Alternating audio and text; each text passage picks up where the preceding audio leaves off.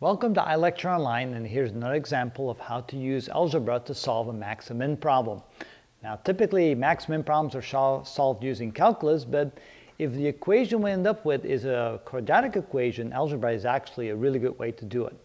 Uh, max min stands for maximum and minimum and typically they give you a scenario where you're trying to find the maximum of something or the minimum of something. And uh, in this case it says here that uh, find the maximum area of a triangle given that the sum of the base and the height equal 30 feet. So let's make a drawing of that. Here's a triangle. The base B at the bottom and the height H right there. And so here we're given that B plus H equal 30, 30 feet. Okay, the way you want to do max min problems is you want to follow a, a certain technique, a certain uh, steady procedure. And we usually start out by deciding what's being maximized or minimized. In this case, we're trying to find the maximum area. So maximum area is what we're after, maximum area. Okay, so determine, first of all, what you're trying to maximize or minimize. The second thing is you want to find an equation for that. So the equation for the area of a triangle is equal to 1 half the base times the height. So the second thing you do is try to find an equation that defines what you're trying to maximize. In this case, the area, so the area is 1 half the base times the height. Now you notice that the area is now defined uh, with two variables, and in order for us to solve the problem, you need to have just a single variable. So you want to now find some sort of constraint, some sort of relationship between the base and the height that will allow us to write this equation in terms of just one variable. So the constraint, in this case, is that the base plus the height equals 30.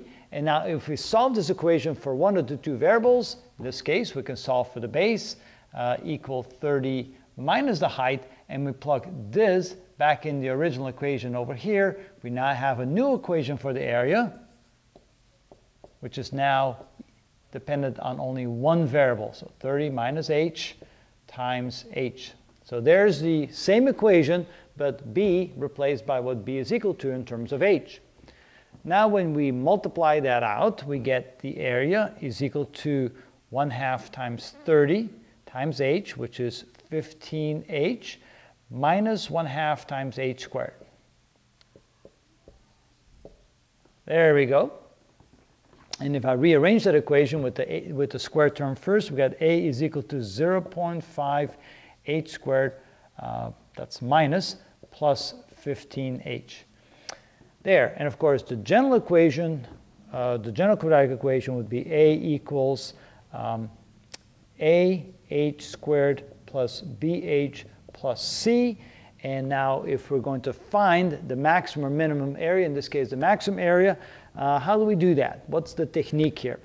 Well, if I look at this equation, this is the quadratic equation, and I notice that the first term, the square term is negative, that means I'm going to get a parabola that looks something like this, where we, the parabola opens downward and it has a maximum value somewhere uh, like that.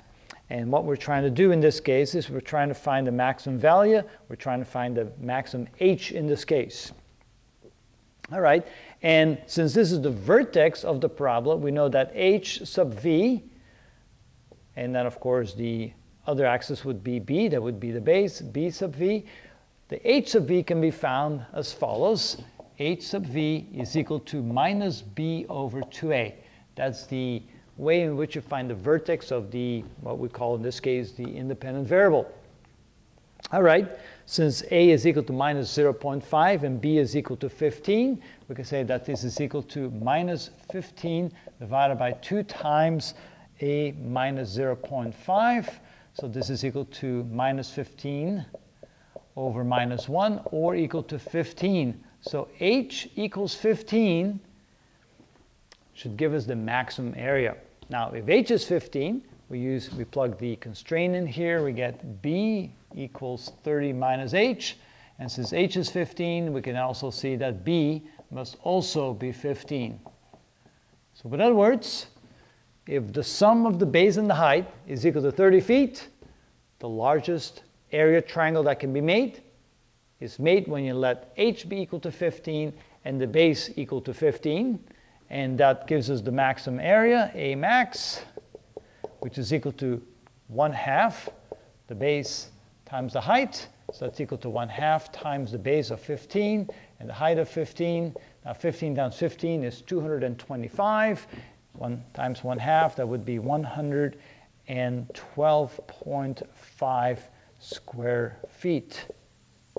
AMAX. And that's how you do a problem like that. So quickly recap what we just did. You were given a triangle. You were given that the sum of the base plus the height equals 30 feet. You first determine what you're trying to maximize. You then find an equation defining the variable that you're trying to maximize. So you're trying to maximize the area, and the area of a triangle is 1 half the base times the height. You then go look for a constraint, because since the area is is calculated in terms of two variables, and you can't figure it out when you have two variables. You need to eliminate one of the two variables, and you do that by finding the constraint. The constraint in this case is that the base plus the height must equal 30 feet.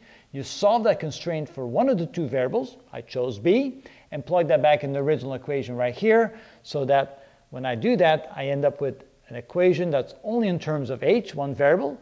You can see that this is a quadratic equation, plugging the writing the square term first and realizing the square term is negative, I realize I'm going to have a parabola that opens downward that has a maximum value near the top here. And then realizing that the vertex, uh, the, the h coordinate of the vertex can be found by finding minus b over 2a, b being the coefficient of the second term, a being the coefficient of the first term. You plug those in here, you find the value for h, use a constraint to find the value for b, and then you're able to find the total area. And that's how you solve these types of problems. All right, I can think of a few more examples, so let me see if I can get you a couple more examples of these so you feel very comfortable doing them.